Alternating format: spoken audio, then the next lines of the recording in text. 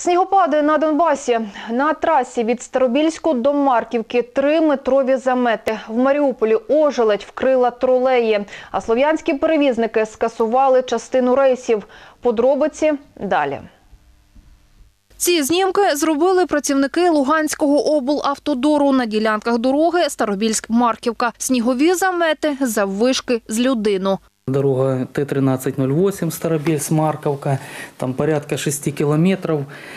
Толщина снежного покрова 3 метра. Мы, как бы, техника работает, но, естественно, там настолько си- сильный ветер, что э, дорогу просто заметают в течение двух, час-два, дороги просто нет. Поэтому, ну, как бы мы там не рекомендуем э, двигаться в этом направлении. Есть обрез- объезд через Новопсков, За сьогодні рятувальники Луганщини зі снігових заметів витягли два десятки машин. Більшість з них вантажівки, каже пресофіцер ДСНС Луганщини Олександр. В Кременском районе, в Попасной, в Станице. Только за эту ночь э, более 10 раз спасатели оказывали помощь на этих участках дорог. Э, Не прекращаются работы и сейчас. Именно сейчас работают наши спасатели в Попаснянском и в Кременском районах. Самое сложное – это участок с Кременской по Сва- э, с города Кремена по Сватово.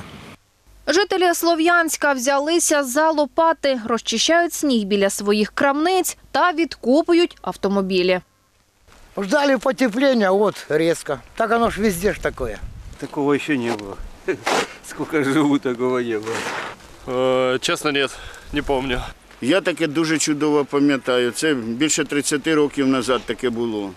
На міському автовокзалі скасували міжміські автобуси з Маріуполя, Покровська та Мирнограда. Сейчас с Краматорска начали чистить, а там Артемовск вообще никто ничего не чистил. У меня 300 отправлений в день. Из 100% 70% никуда не поехали или вернулись обратно. У Маріуполі працівники Зеленбуду та Маріуполь автодоруб дороги почали чистити зночі. Відтоді не сніжило. Та через перепади температури від плюсової надвечір до мінус трьох зранку ожеледь вкрила тролеї. Ночью дежу- были выведены дополнительные единицы, которые трамваи, троллейбусы, которые курсировали, ну, тем самым не давая обледенению троллеев.